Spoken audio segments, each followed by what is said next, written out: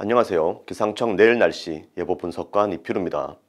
고기압 영향을 받아 대체로 맑은 날씨가 이어지는 가운데 밤사이 지면이 원활하게 식으면서 내일 아침 기온은 5도 내외로 다소 춥겠는데요. 아침 기온이 영하로 내려가는 경기 북부와 강원 내륙 산지에는 서리가 내리거나 얼음이 오는 곳도 있겠습니다. 반면 낮 기온은 20도 내외로 오르면서 낮과 밤의 기온차가 중부 내륙을 중심으로 최대 15도 이상으로 매우 크게 벌어지겠으니 입고 벗기 편한 겉옷을 준비하는 등 건강관리에 유의하시기 바랍니다. 한편 밤사이 기온이 내려가면서 지면 부근의 수증기가 응결하여 내일 새벽에서 오전 사이 남부 내륙을 중심으로 짙은 안개가 끼는 곳이 있겠습니다. 내일은 전국이 대체로 맑겠으나 경상권은 구름 많겠고 제주도는 대체로 흐리겠습니다.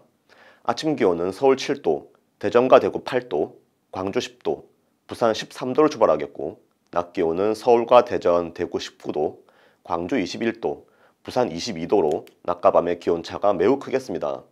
이어서 내일 날씨 자세히 알아보겠습니다.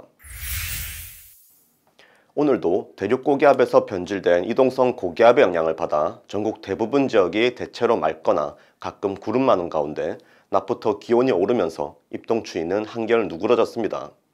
하지만 밤이 되면 맑은 날씨에 지면이 원활하게 식으면서 내일 아침 기온은 제법 내려가겠는데요. 내륙을 중심으로 5도 내외로 내려가면서 어제보다 높겠지만 평년과 비슷하거나 조금 높은 수준으로 다소 춥겠고요. 특히 영하로 내려가는 경기 북부와 강원 내륙 산지에는 서리가 내리거나 얼음이 오는 곳도 있겠으니 농작물 관리에 유의하시기 바랍니다. 반면 낮 기온은 20도 내외로 오르면서 낮과 밤의 기온차가 10에서 15도, 중부 내륙을 중심으로는 15도 이상으로 매우 크게 벌어지겠으니 입고 벗기 편한 겉옷을 준비하는 등 건강관리에도 유의하시기 바랍니다. 한편 밤사이 기온이 내려가면서 지면 부근의 수증기가 응결하여 내일 새벽에서 오전 사이 남부 내륙과 강원 산지, 충남 남부 내륙을 중심으로 가시거리 200m 미만의 짙은 안개가 끼는 곳이 있겠고요.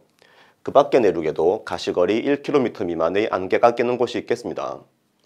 주변보다 공기가 습한 내륙의 강이나 호수 부근, 기온이 더 내려가는 골짜기 부근으로는 안개가 더욱 짙게 끼는 곳이 있겠으니 주말 아침 나들이 가시는 길 교통안전에 유의하시기 바랍니다.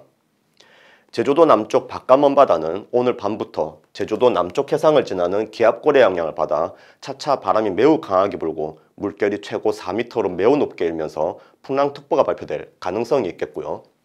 경상권 해안에는 내일까지 너울이 유입되면서 높은 물결이 백사장으로 강하게 밀려오는 곳이 있겠으니 해안가 및 해상 안전사고에 유의하시기 바랍니다.